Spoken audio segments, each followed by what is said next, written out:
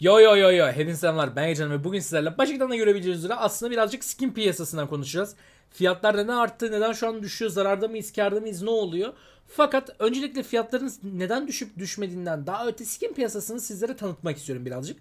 Normal herhangi bir borsaya ve kriptoya göre skinlerin fiyatları birer yatırımlık olarak göz önünde bulunmadığı için fiyatların artışları veya düşüşleri tamamen ve tamamen e, extraordinary dediğimiz sıra dışı durumlarda olabiliyorlar. Ve bunun en büyük sebebi de bir tanesinin olayı şu belli başlı regülasyonlara sahip değil. Kriptoda da olsa borsada olsa normalde belli başlı regülasyonlara sahip. Mesela en basit örneklerinden verebileceğimiz e, normal herhangi bir borsanın belli bir saatte açılıp belli bir saatte kapanması ya da Türkiye özelinde sadece %10 artıp %10 düşebilmesi günlük artışlarda düşünebilirsiniz. Kriptoda bu birazcık daha geniş fakat CSGO'da bu tamamen geniş. E, bunlardan neden bahsediyorum? Çünkü videoda bahsedeceğimiz belli başlı artışların ya da düşüşlerin her zaman belli bir sebebi olmuyor. Sadece benim kendi fikirlerimden ve sadece kendi düşüncelerimden e, yayınlayacağım bir video olacak. Ayrıca hakkını yemeyeyim TDM mevzusu hepimiz biliyoruz. Sevgili Skins Monkey'nin ilk sponsorlarından bir tanesi. Skins Monkey demişken Skins Monkey'nin de bu videonun sponsor olduğunu hatırlatmak isterim. Skins Monkey global trading dünyasındaki en güvenilir takaslarından bir tanesi. Eğer site yeniyseniz ve daha önceden hiç takas yapmadıysanız Legocan kodunu kullanarak ilk takasınızda 5 olarak bir bonus elde edebilirsiniz. Bunun dışında genel Legocan kodunu kullanarak para yüklemeleriniz %30 yerine 35'lik bir yükleme bonusu sağlayabilirsiniz. Freebies kısmımızda mevcut. Hediyeler kısmımız yani günlük, haftalık ve aylık olarak da çekilişlere buradan katılabilirsiniz. Şimdi TDM mevzusundan neden bahsettim? Çünkü kendisi de tam tamına benim bu videoyu çektiğim bir dönemde şahsen buna benzer bir video yayınladı ve ben şahsen izleyip düşünmek istedim ve dediği şeyler bana oldukça mantıklı geldi. O yüzden belli başlı laflarını kullanacağım. Yüksek ihtimalle videonun içerisinde göreceğiz. Şimdi Bildiğiniz üzere CS2 ilk Mart ayında duyurulduğu zaman böyle Mart Mayıs'larda duyurulduğu zaman bir hype yarattı ve herkes dedi ki CS2 parlayacak ki benim kanalda da bir sürü buldunuz ki ben bıçaklara yatırım yapmıştım hatırlarsınız 2000 yuandan bir sürü bıçak aldım 3500 4000 yuanlara kadar yaklaştı fiyatları. Ben zamanında bozdurmadım. Belli başlı hatalar yaptık. Fakat ee, ciddi anlamdaki artışın başından yakalayıp sonunda satanlar çok büyük paralar kazandı. Tabii ki de örnek veriyorum 900 euroluk olan bir M9 Bayonet Doppler bir anda 1600 eurolara çıkınca doğal bir artış oldu mu? Kesinlikle doğal bir artış olmadı. Bu birazcık da piyasa manipülasyonundan da bahset bahsetmek isterdim fakat manipülasyon değil. Herkes itemleri almak istedi. Dedi benim de olsun CS2'de hazır olsun CS2 güzel çıkarsa çok para kazanırız. Herkes aldı aldı sadece hani Doppler olarak düşünmeyin. Tiger Tutlar, Slaughter'lar, Fate'ler, Gamma Doppler'lar sadece bıçak olarak da düşünün. Normal skinler dahilinde. Dediler operasyon koleksiyonlarını alalım, bıçaklardan alalım, eldivenlerden alalım. CS2 oyun içerisinde zaten ekranında da görmüş olduğunuz üzere Zyver'ın POV'sini izliyoruz ama ee, görebiliyorsunuz. Oldukça tatlı, oldukça güzel. Fakat ekranda da aynı anda görebildiğiniz üzere bıçak tutması, AWP tutması bile siktimin oyunun bug'lı ya. Hani problemlerden en büyük sıkıntımız da aslında birazcık da bu oluyor. Ya görmüş olduğunuz üzere herkes aldı, aldı, aldı, biriktirdi, biriktirdi, biriktirdi. Yazın çıkacak dediler. İlk yazın çıkmadı. Sorun yok. Hype devam, hype devam. Beta geldi. Beta gelince herkesin bir tık yüzü düştü. Hani mutlu olanlar vardı. Ben şahsen mutluydum. Ama ve lakin dediler ki beta'yı düzeltmezlerse IV yedik. Oyunu o kadar büyük bir söz verdikleri için yazın çıkaracağız, yazın çıkaracakları dedikleri için oyunu hazır olmadan piyasaya sürüyorlar. Ne oldu? Doğal olarak topluluk sunucularından tutun e, farklı modlar e, ne bileyim e, jailbreak'ler, zombie escape'ler, surf'ler, AWP Lego tarzındaki haritaların hiçbirisi olmadı. Çünkü daha topluluğa tam damına açılmadı. Ki bunların üstüne üstlük ne yeni kasa operasyon hiçbir şey gelmedi.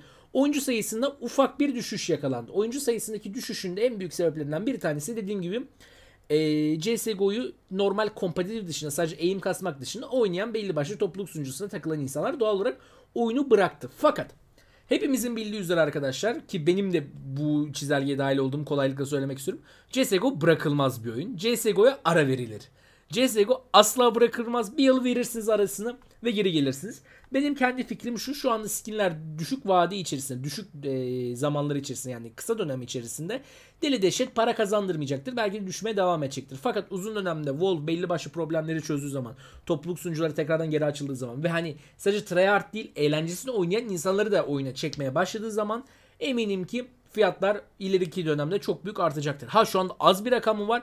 Günlük e, 1 milyon aktif sayıda oyuncu arkadaşlar az bir şey değil. Fakat dürüst olmak gerekirsek yaklaşık olarak toplam skinlerin bedelleri 300 milyon dolar artmıştı ve şu anda neredeyse 300 milyon dolar düştü. Toplamdaki tüm skinlerin değerlerini düşünmek gerekirse.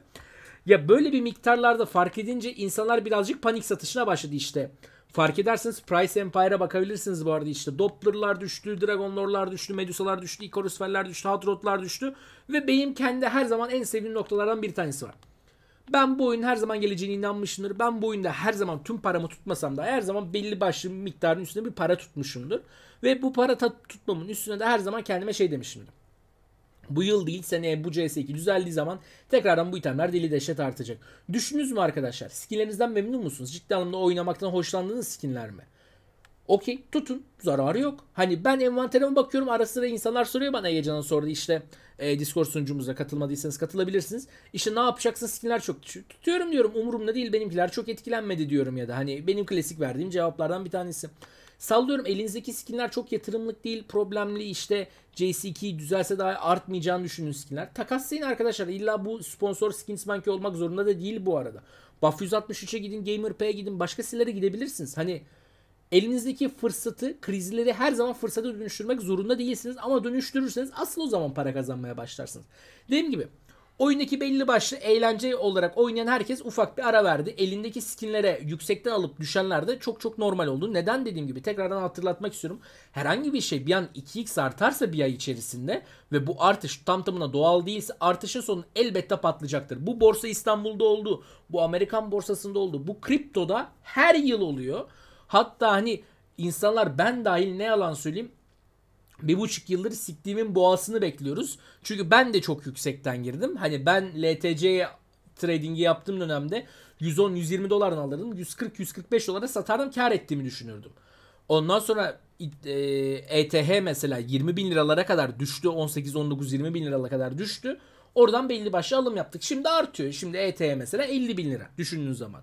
Ve hani birazcık sakin kalmanız gerekiyor. Gereksiz yerlere e, canınızı sıkmamanız gerekiyor. Eğer biriniz alım yapılacaksa ben kötü bir vakit olduğunu şahsen düşünmüyorum. Düşmeye devam edilebilir mi? Edilebilir. Fakat dediğim gibi kısa vadede çok büyük bir beklentinizin olmaması gereken bir yatırım türü şu anda CSGO skinleri. Uzun dönemde eminim ki muazzam olacaktır. Bunların dışında devam etmek gerekirse de şahsen diyebileceğim çok fazla bir şey yok. Çok fazla canınızı sıkmayın. Belli baş artışlar düşüşler her zaman bir sebebi olacak diye bir şey değil. Çünkü dediğim gibi buradaki skin marketi borsanın kriptonun daha dışında farklı regülasyonlarsız iler regülasyonlar olmadan ilerliyor ve herhangi bir oyuncu sayısının artış, düşüş, güncelleme gelişip bu tarz şeyleri etkileyebiliyor. Hatta ha, ve hatta benim gibi herhangi bir YouTuber'ın çektiği bir video dahi bu tarz şeyleri etkileyebiliyor. Siz siz olun arkadaşlar. Dikkat edin. Ve izlediğiniz için de çok teşekkürlerimi sunuyorum. Bugünlük benden bu kadar olsun. Umarım video hoşunuza gitmiştir. İzlediğiniz için teşekkürler. Görüşmek üzere. Hoşçakalın. Bay bay.